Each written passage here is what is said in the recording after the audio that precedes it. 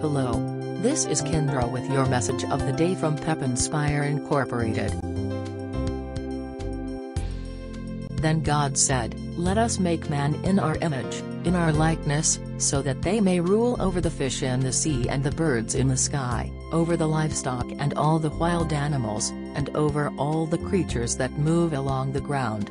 So God created man in his own image. In the image of God he created them, male and female he created them.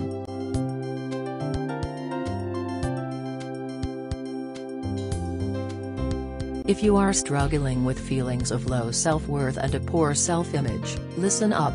No matter what you look like on the outside, or how you feel on the inside, the image of God is stamped on you and this is the source of your intrinsic worth and value.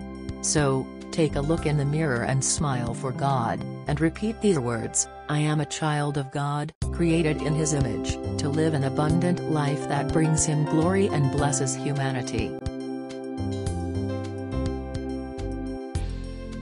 If you need help developing a relationship with God, visit our YouTube channel and watch the video, Does God Care About Me on our recommended videos playlist.